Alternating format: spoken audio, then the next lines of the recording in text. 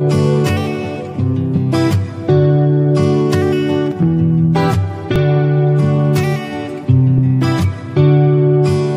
ਮੈਂ ਪਿਛਲੇ ਦਿਨਾਂ ਤੋਂ ਤੱਕ ਰਿਆਂ ਇਹ ਚਿਹਰਾ ਖੋਰੇ ਕਿਸ ਦਾ ਏ? ਜੋ ਹੋਰ ਕਿਤੇ ਮੈਨੂੰ ਲੱਭਿਆ ਨਹੀਂ, ਤੇਰੇ ਨੈਣਾ ਵਿੱਚੋਂ ਦਿਸਦਾ ਏ।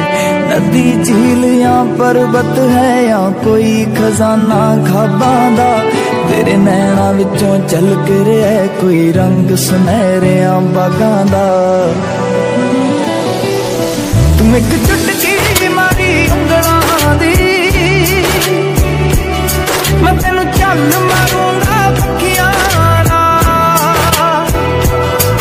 ਮੈਂ ਚੰਨ ਸਿਤਾਰੇ ਕੀ ਕਰਨੇ? ਮੈਨੂੰ ਇਸ਼ਕ ਹੋ ਗਿਆ